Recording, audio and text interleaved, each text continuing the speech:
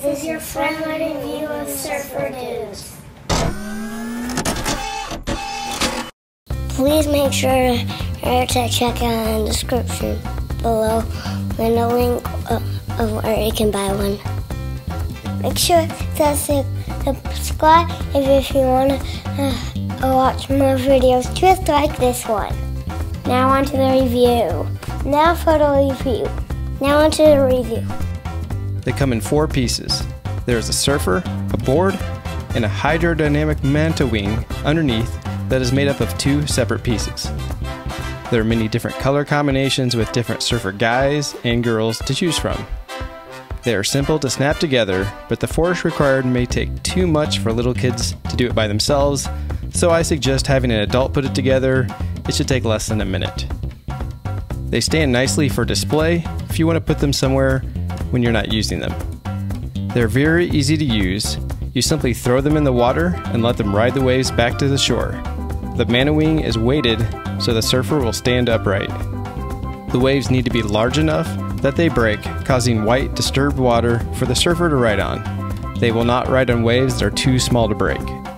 We had no issues with the small waves at Myrtle Beach.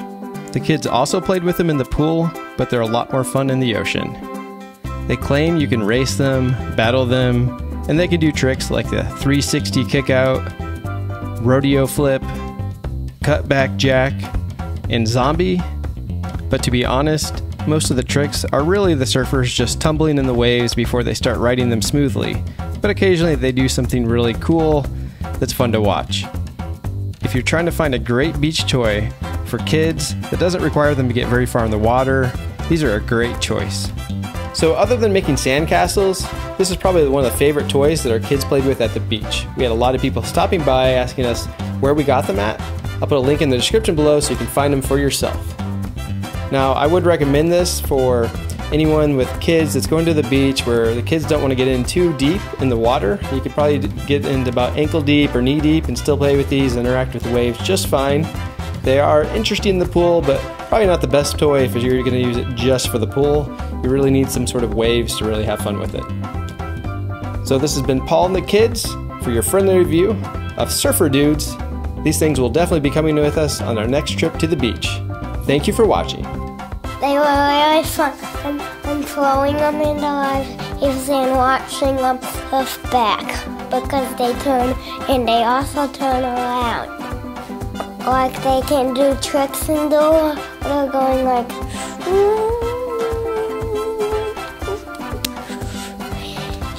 I love surfer dudes.